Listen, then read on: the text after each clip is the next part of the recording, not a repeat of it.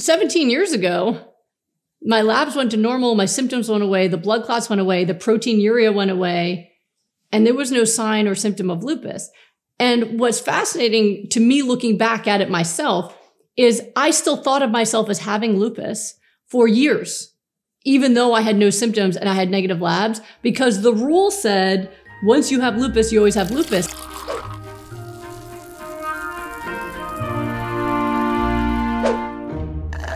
My rheumatologist tell me that once you're diagnosed with RA, you know, you get all your blood work done to normal and you don't have symptoms, there's still organ damage occurring. Where? it's it's this weird um I don't even know what to call it. It's it's almost like a, like like a ghost story, right? Um, understand that in medical training, and it's been over 20 years since I was in medical school. Um, but in medical training, they do tell you that certain diseases are incurable. And when you learn a, a rule, right? Sometimes your brain will try to bend reality to fit within the rule rather than someone being open to adjust the rule to accommodate reality.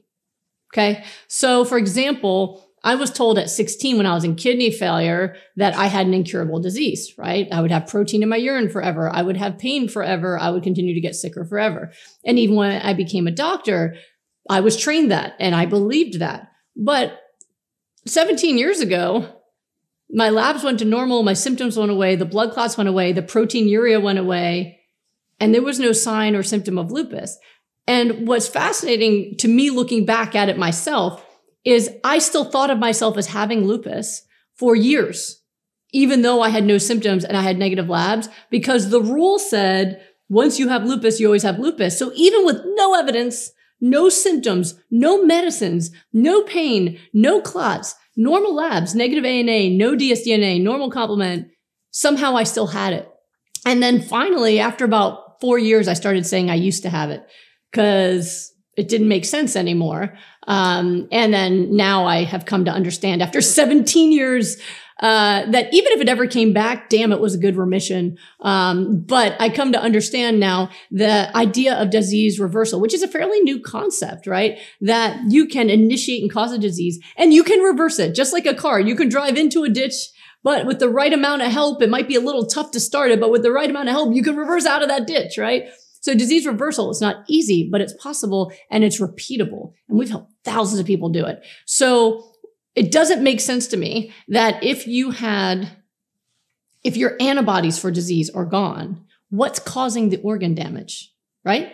Because the way these diseases work is you create an antibody against a part of your body. And those antibodies then attack that body part, right? When I had kidney failure, those antibodies were attacking my kidney. And that's why there was damage right? But when the antibodies were gone, the kidneys healed because there were no more antibodies to cause damage. So it doesn't really make sense to say that your labs are negative and your symptoms are gone and there's like ghost antibodies causing damage. It doesn't make sense.